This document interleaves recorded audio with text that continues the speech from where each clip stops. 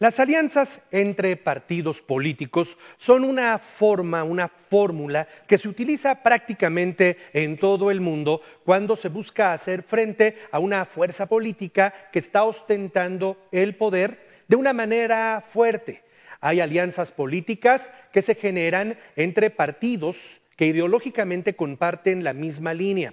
Pero hemos visto en democracias avanzadas como Francia, como Inglaterra, como España, que las alianzas políticas se pueden llegar a generar entre partidos que son como el agua y el aceite, que son completamente opuestos. Por primera vez en la historia de México y por primera vez en la historia de nuestro Estado, estamos viendo una alianza de este tipo, que firmaron ya en Puebla el PRI, el PAN y el PRD, que están formalizando esta alianza insólita para ir contra Morena en las elecciones del año 2021. El primer paso se ha dado.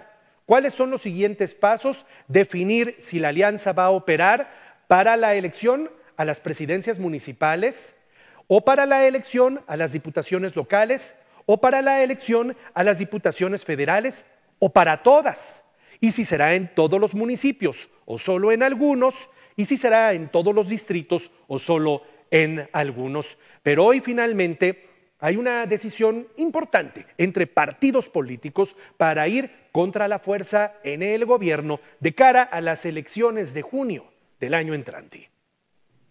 La fórmula partidista más atípica jamás pensada se concretó en el estado de Puebla de cara a las elecciones de 2021. Los partidos políticos Acción Nacional, Revolución Democrática y el Revolucionario Institucional se unieron para hacer un contrapeso en los comicios locales. Como buenos amigos, los líderes de los tres partidos caminaron juntos a donde habrían de formalizar su unión, trataron de mostrar su entusiasmo y saludaron a la Cámara. Carlos Martínez y Néstor Camarillo, líderes del PRD y PRI respectivamente, le siguieron el paso a la líder albiazul Genoveva Y ya en escena dieron a conocer sus intenciones. El propósito es encontrar coincidencias y sumar esfuerzos en un escenario caracterizado por la destrucción del Estado de Derecho, para rescatar a los municipios del rezago en el que se encuentran, mejorar su entorno cotidiano. Ese que Morena y sus gobiernos han destruido en un corto plazo. Dijeron compartir un fin en común más allá de sus intereses políticos. Aunque evitaban las miradas mutuas, no faltó la cordialidad y los elogios, cual si tuviesen una añeja y estrecha relación. Un gran compañero como lo es Carlos Martínez Amador, a los dos les reconozco su madurez política, porque hoy Puebla nos necesita a todos, que no solamente sea para ganar el poder, sino para servirle a la gente. Vamos a ganar sin duda en el 2021. El mensaje que mandamos el día de hoy es de reconciliación, es de construcción y es de ideas y de proyecto. Las puertas a la ciudadanía el día de hoy están abiertas desde este frente. Entre el público se distinguía a integrantes del PRI respaldando la coalición. Con los tres líderes al frente, en el aire estaba la pregunta sobre quiénes encabezarían las candidaturas. Salieron a relucir nombres de posibles abanderados. Aunque la prensa insistió, mantuvieron en secreto la identidad de aquellos que aparecerán en las boletas a fin de que nadie quede en descontento. Vamos a empezar a platicar. Aún no hay nada. Todo lo demás son especulaciones completamente. No estamos todavía hasta el día de hoy con algún nombre en especial que pueda encabezar.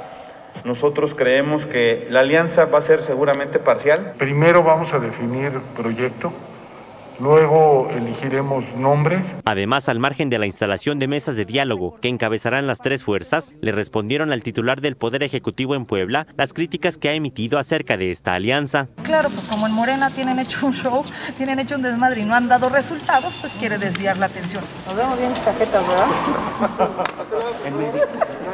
Estos partidos irán juntos para la elección del 2021, aunque todavía no definen en cuántas candidaturas, ya que estarán en juego diputaciones locales, federales y las 217 presidencias municipales. Aldo Hernández, Imagen Noticias Puebla.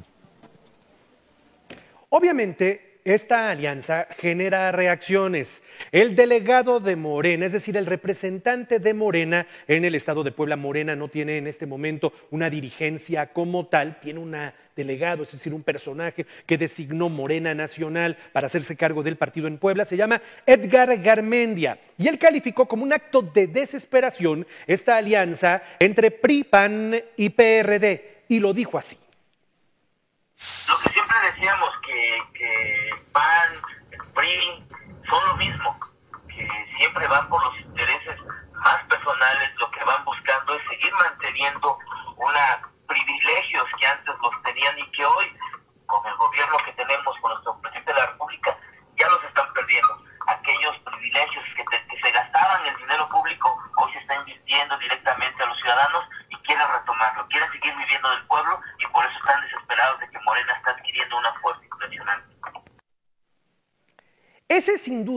va a ser el discurso, y no nos debe extrañar, el discurso que mantendrá desde este momento y hasta el día de la elección Morena en contra de la alianza es que se están uniendo PRI y PAN, que son lo mismo y que lo único que quieren es el poder para seguir saqueando el país. Es el discurso del presidente de México. El reto, es decir, la alianza tiene hoy dos retos. Primero, sustentar un discurso sólido que le pueda llegar a la gente para mostrarle por qué sí ellos deben llegar deben regresar a cargos de poder y por qué Morena ya no tendría que tener cargos de poder y luego ponerse de acuerdo quiénes serán esos personajes, personajes con un rostro limpio, con un rostro incluso hasta fresco, diferente a lo de siempre, como para poder llegar a encabezar las diferentes fórmulas, las diferentes posiciones que van a entrar en juego para la próxima elección. Esos son los dos grandes retos que tienen por ahora y por delante los partidos de la alianza política. Nuestra encuesta del día de hoy, Janet, gira en torno al tema. Así es, Juan Carlos. Queremos saber si ustedes creen que esta alianza tenga la fuerza suficiente para ser el contrapeso de Morena en las elecciones del próximo año ya está en redes sociales, ya está en Twitter. Lo más importante sus comentarios. Pusimos cuatro opciones de respuesta que son sí, si es suficiente, probablemente, difícilmente o no se acaba de actualizar. Y tenemos a la mayoría diciéndonos que sí, que sí tendría la fuerza suficiente para hacer contrapeso, para ganarle a Morena, digámoslo así. Eso nos ha dicho el 43.4%, un probablemente también es un número alto, un 22.7%, un rotundo no nos dice un 23.6% y que difícilmente nos dice un 10.3%. Muchísimos comentarios, estos temas pues son álgidos, Juan Carlos, entonces pues se, pusieron buenos los guamas en el Twitter, así que nada más voy a poder leer poquitos porque había muchos muy groseros. A ver, eh, justamente, y qué bueno que dices, había muchos muy groseros. No se trata finalmente de responder con groserías, con majaderías, no, simplemente se trata de ser propositivo y analítico en el comentario. Me quiero detener y regrésame por favor los números, Alejandro. Vamos primero por partes. Sumemos el sí y el probablemente. Es decir, el sí y el probablemente hoy está arrojando un 65-66% de opiniones que están hablando de que sí, esta es una alianza que puede vencer a Morena. Tenemos entre difícilmente y no una posición de un 33%. Estamos hablando 33.9%. Es decir, estamos hablando de que esto va en tercios, dos terceras partes. Hoy dicen que la alianza sí tiene probabilidades tiene probabilidades importantes de vencer a Morena. Una tercera parte dice que no. Morena, un reto importantísimo que tiene Janet y es la parte en donde me quiero detener, es que tiene que analizar qué está pasando que hoy está generando esto. Que como partido político o como movimiento, hoy de alguna manera arroje este tipo de números. Sé que muchos van a descalificar este ejercicio. Es un ejercicio estadístico en redes sociales, no, no tiene ningún valor científico, pero al final del día sí nos da una idea de qué es lo que piensa la gente, de qué es lo que siente la gente y bueno, pues es importante que todos entendamos más o menos cómo se va a ir comportando la opinión de la gente en relación con lo que viene para el próximo año. Ahora sí, arráncate con tus comentarios, Ane. Muchos comentarios, Juan Carlos, leemos algunos. El primero dice, desgraciadamente con las decisiones de nuestro actual gobierno, muchas personas como yo buscaremos otras alternativas, incluso si ello conlleva a volver a creer en esos partidos que se están uniendo PRI, PAN y PRD. Nos quedó mal AMLO, dice Gerardo. No creo en las alianzas del PRI, PAN y PRD. Para mí los tomo como partidos fracasados solos y muy hipócritas juntos. Ya tuvieron su oportunidad y la regaron. Omar, si comparamos resultados y avances, Morena queda mucho a deber. Por el contrario, ahora sí están dando la estocada final a saquear todo lo que se encuentre, salieron mil veces peor que los partidos que hoy están haciendo alianza. Eso comenta él.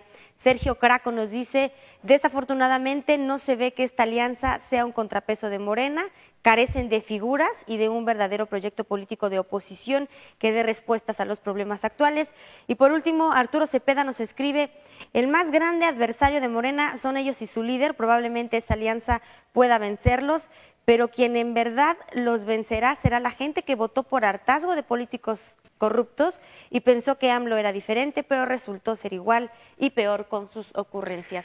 Los comentarios muy divididos, Juan Carlos. Y además, si tú lees entre líneas lo que te dicen algunas personas en estos comentarios, le están diciendo, no, espérate, le están diciendo a la nueva alianza, alianza, tienes que buscar gente nueva. Si pones a los mismos de siempre que fallaron, es decir, la gente votó por Morena porque los de siempre fallaron. Si buscas a la gente de siempre, a los que fallaron, pues la vas a volver a regar. Es, lo que le está diciendo la gente en dos o tres comentarios ahí entre líneas de lo que estabas, de lo que estabas leyendo. Muchos comentarios lo dicen y también hay mucho que yo interpreto, Juan Carlos, como tú dices, entre líneas, como arrepentido. Había mucho que decía, yo sí voté, yo sí confié, ya vi que no. Vuelvo a confiar, pero pónganme a otros. Mucho arrepentido. Yo creo que esa sería la palabra. Ahora, ¿Qué es lo que sí va a pasar en la elección del año entrante, Janet, amigos? Bueno, pues que en el caso de Morena y en el caso de los partidos políticos aliados o no aliados, algo que será uno de los factores en juego importantes será el tema de la popularidad el nivel de popularidad en el que se encuentra en el año 2021, en el primer semestre de 2021, Andrés Manuel López Obrador su popularidad será un factor decisivo en las elecciones del año entrante.